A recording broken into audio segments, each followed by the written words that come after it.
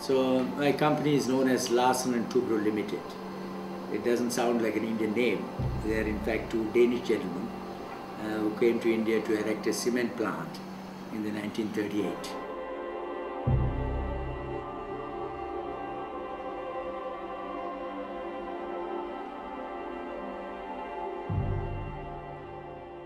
I joined this company in uh, 1962, soon after my post graduation in civil engineering, uh, structural engineering as we call it. And then I worked here for about uh, three years and I got a scholarship and I went to Germany.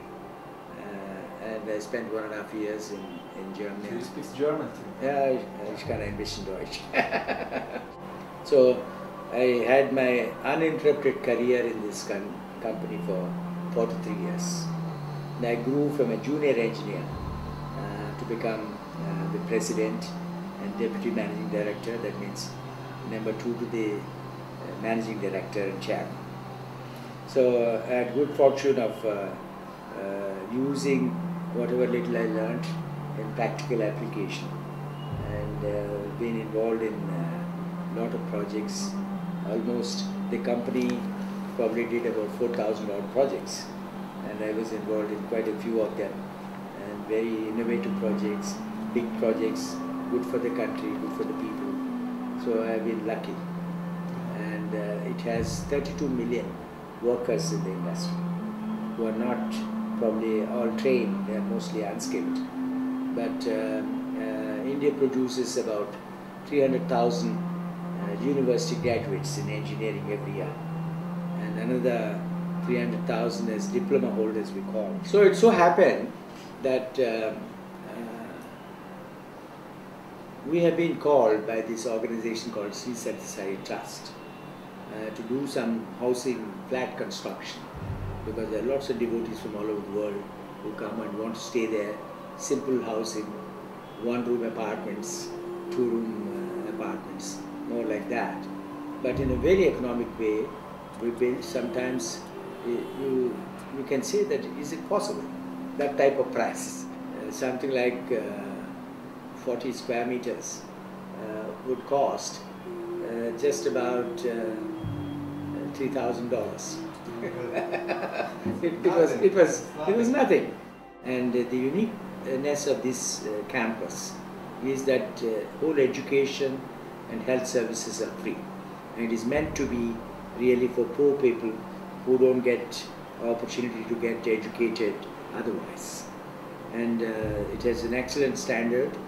Uh, it has been praised as one of the exemplary universities, not just uh, I mean, education, but also uh, moral values and generally uplifting uh, the spiritual level of the students.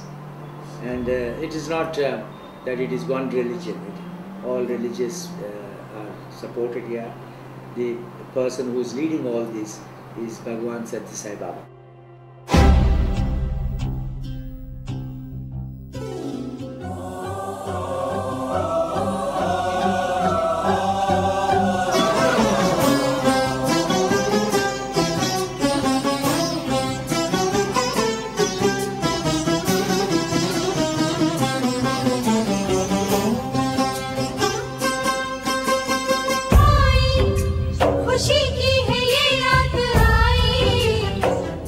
Who's, um, uh, and, and many of us in India believe is uh, an incarnation of Sai Baba of Shirdi, who is a perfect master and a sort of uh, incarnation of God.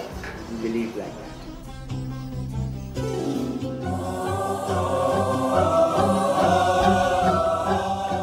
The greatest problems faced is the villages and some of the areas are not having enough drinking water. So one of the major projects which we undertook as one of the first projects uh, was a place called Anantapur district in the state of Andhra Pradesh. And this is the place where Puttaparthi, where Sai Baba lives, is situated. And uh, during his young days, he promised mother, his mother, that uh, he will do something to help the common people to get drinking water. So we uh, did this project to serve 750 villages with a population of 1 million people. We built 2,500 kilometers of pipelines, which are something like uh, uh, 2 feet diameter or in centimeters, uh, 50 centimeters diameter pipes.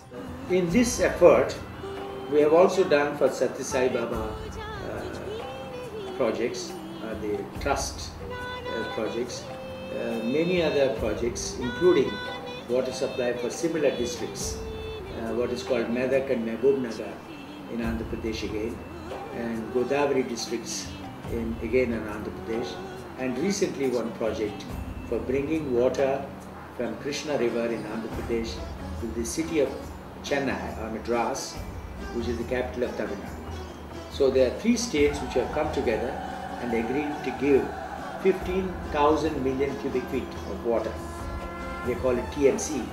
15 TMC of water. The five states, uh, the three states, 5 million each. And this water uh, project called Telugu Ganga project was started about 15 years ago. But the whole canal system, the, the reservoir that was created was dysfunctional because of growth of vegetation, local people taking water for irrigation. So really water was not flowing in adequate quantity to Chennai as promised. And then the people were suffering in Chennai. So uh, Sai Baba has understood this problem uh, and in one of the meetings uh, he announced in a, one, uh, one of the functions to celebrate his birthday that nobody is doing anything for these people of Chennai. And I am now announcing a project. Uh, the trust will bear all the expense and will give water to Chennai free of cost. Repairing all these canals and strengthening the dam, whatever is required will be done.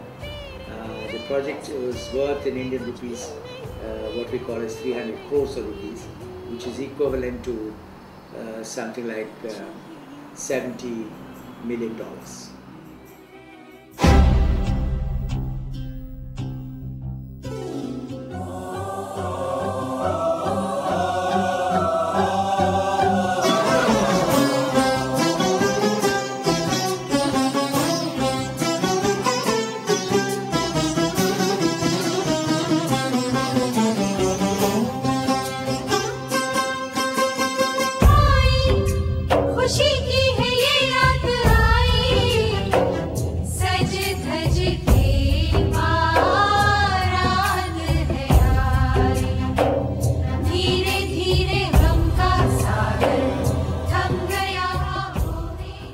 So I think it is getting accepted in India uh, that uh, uh, a sort of capitalism with a socialist background of thinking is still possible.